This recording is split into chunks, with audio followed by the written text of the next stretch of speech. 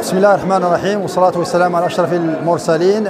الآن نتواجد في المركز النسوي بمدينة بركان والمناسبة هو توقيع ديوان الشاعر المتألق عبد العزيز أبو شيار والمعنون بنحت فوق السحاب. حقيقة كان لقاء جميلا واخويا وادبيا وثقافيا.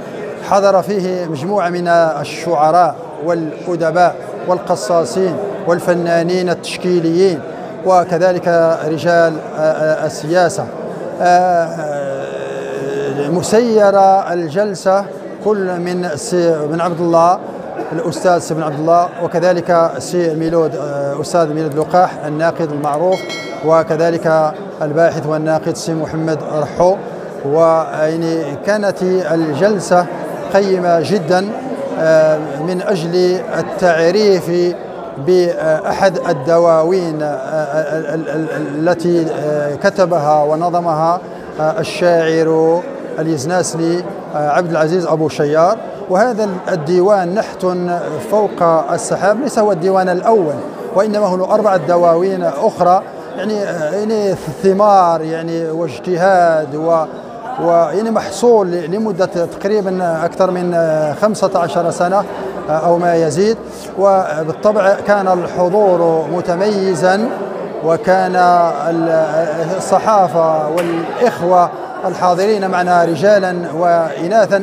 يعني حاولوا أن يؤسسوا لثقافة بركانية محضة. يعني أعتقد أعتقد وبل أكاد أجزم بأننا الكرة القدم التي كانت قد يعني سيطرت شيئا ما على الفضاء البركاني. يعني, يعني اليوم أقول وأجزم بأن الثقافة كانت في المستوى العالي وكان المثقفون في هذا العرس العظيم هذا العرس الثقافي الكبير وبينا بأن مدينة بركان معطاءة وأن الثقافة هي جزء لا يتجزأ من الإنسان البركاني. وكما يقال البركنة عروبية بل بركنا مثقفين بل بركنا يعني يحملون السيف في يد والقلم في اليد الأخرى والكرة كذلك في أرجلهم. وأعتقد بأن الإنسان البركاني هو إنسان يزناسني أصيل معطاء. وأعتقد أن الكلمة هنا لن تقف أبدا ولن تتوقف أبدا ما دام هناك رجال يحملون مشعل الثقافة. وشكرا سيد قنوري الله يحفظك. شكرا. هو الديوان الرابع لعبد العزيز أبي الشيار بعد أعمال سابقة آه، بدأها بطبع ديوان أوطار النزيف ثم معارج الروح فيض الأباريق والآن الديوان الرابع الذي نحتفي به في هذه الأمسية الأدبية وهو ديوان يحفل بمواضيع عديدة لكن ما أثارني فيه شخصيا هو نزوع الشاعر نحو الذات ونحو الوجدان. حتى أني لقبته بالشاعر الرومانسي الذي تأخر به آه، الزمن. ولعل اهتمام الشاعر بالذات وبالوجدان هو نتيجة لما لحق هذه الذات من هزات وارتدادات جراء ما نعيشه اليوم في مجتمع تشوبه مجموعة من الأخلاق الفاسدة. فجاء أبو شيار ليعيد لهذه الذات مكانتها عن طريق إشاعة الجمال. والشعر وسيلة من أجل إشاعة الجمال في هذا المجتمع وفي هذا العالم الذي دنسته الآلة ودنسته الأفكار المتطرفة.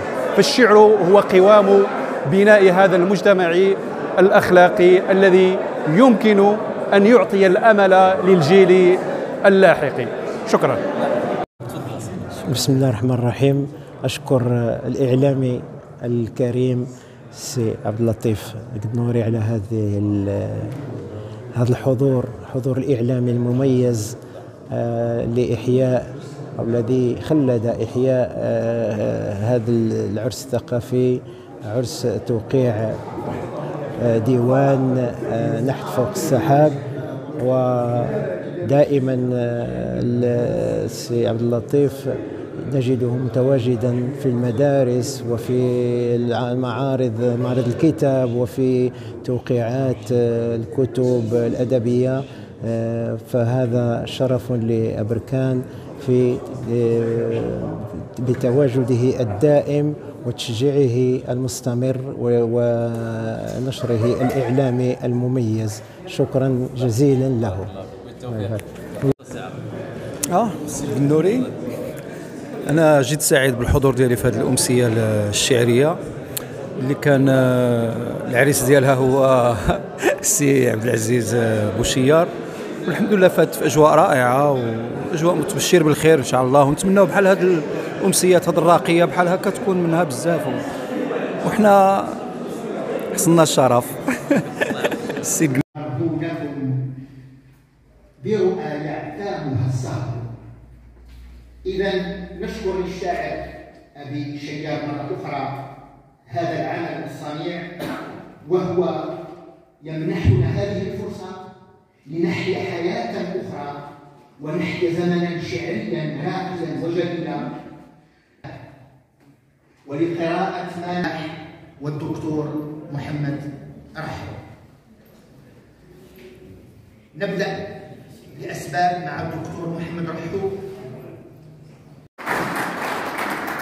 وكأني بالشاعر عبد العزيز كان تحت تأثر بهذا التكامل بين عالمي الموسيقى والشعر عندما قال في الصفحة بين أيديكم 79 بحر البسيط ونلاحظ اصطفاف كلمات أغنية لحن وتر قافي حير تنازع فيها اللحن والوتر.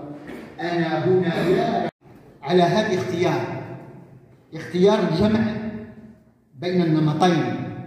فشاعرنا عبد العزيز الذي نجتمع اليوم على شرف إبداعه الجديد الرابع في تجربته الشعرية تجربة عشناها معه عبر دواوينه السابقة الثلاث ثلاثة أوتار النزيف سنة 2010 على كل حال هو حضور نوعي كيفما كانت ونشكر في البداية جمعية تنمية الطفولة والشباب بأمريكان التي عملت البارحة واليوم وكدأبها سابقا على الاهتمام بالمجال الثقافي والتنشيط الفكري والمتابعة لكل ما يمكن أن يخدم. نشكر أيضا آه، الشاعر آه، عبد العزيز أبي شيال نشكر الشاعر عبد العزيز أبي شيال على آه، أنه كان سببا في هذا اللقاء